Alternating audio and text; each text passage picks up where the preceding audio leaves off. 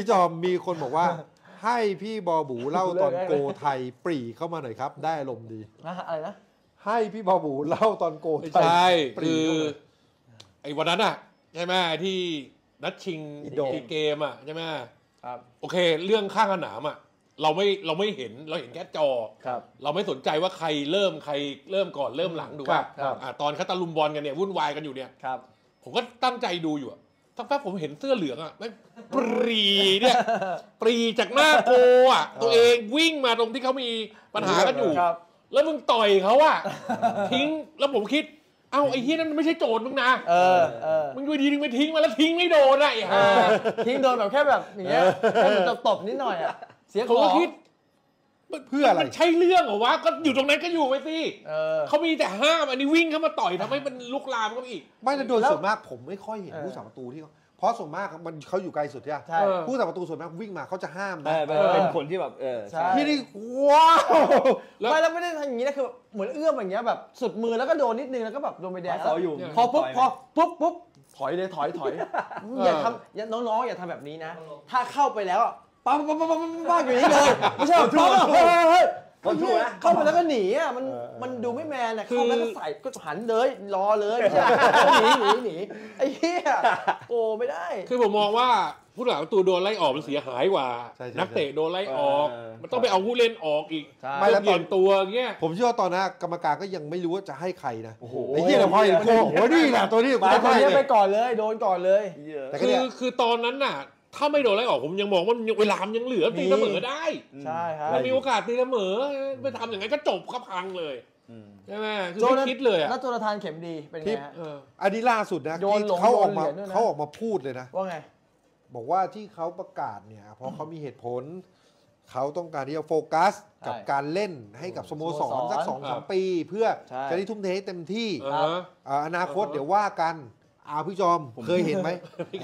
โอ้ไม่เคย ไม่เคยเห็นไม่เคเลยยอย่างเงี้ย ผมมันได้ยินทำไมด้ววะ ยคือผมฟังด้วย จะอำลาทีมชาติอะ มันต้องติดมาสักสิบปีก่อนดีวะ ห้าใช้ปีก็ได้คำว่าอะอำลาถูกไหมพี่ เอออำลาทีมชาติมันต้องห้าปีสิวะ อันนี้อายุเท่าไหร่ยี่สิบยี่สิบเอ็ดเองมั้งใช่พี่มันจะรีบมันอำลาไปไหนเล่าไม่แล้วบอกว่าจะขอเออพักจากทีมชาติอีกสองสามปีเออใครจะมันเอามึงมันเลือกได้ด้วยเหรอว่าจะพักตอนไหนเออไม่เคยติดชุดใหญ่ปะไม่ไม่เคยดิเคยไปซ้อมแล้วก็กลับบ้านไงเออโดนโดนอุ้มที่บอกเออพักไปก่อนแต่โค้ชให้มึงพักด้วยมันไม่ติดไม่แต่มึงในเจมุอมใครผมไม่เจออะเจออุ้มธีรในมุทมรผมอะกลับบ้านดิสิ่งที่ไม่ควรเลยนะครับหนึ่งทีมกำลังจะเข้าชิงอืมเออไปพูดออกออกมาพูดแล้วโพสต์ออกมาแบบเนี้ยเพื่ออะไรเออ คือเพื่อต้ต้อองงการถามว่าเออเพื่ออะไรใช่เพื่อที่จะไม่รู้อะผมผมผมไม่แต่เออ จริงมันมันผมต้องว่า จริงๆมันต้องสมาธิมันต้องอยู่ที่นัดชิงอืมนักฟุตบอลคนนี้ใช่ไหม ไอ้เหี้ยอยู่ดีมาอืม จะเลิกหลังแข่งค่อยว่ากันอืมนักฟุตบอลคนนี้ผมว่ามีปัญหาในทัศนคติ หลายอย่างหลายรอบอะนะ โยนเหรียญไงเห็นไหมอืมเหรียญเขาเป็นที่ระลึกถือเหรียญกันก็อะแล้วเขาว่าไง โยนอะไร แล้วก็ให้ผลว่าอะไรไม่รู้เขาไม่ได้เหตุผลอะไรนะก็ก็เขาไม่อยากได้รองแชมป์ไงอ่า อืมอืมอืม ผมว่าเขาหลายเรื่องหลายเรื่องเพราะว่า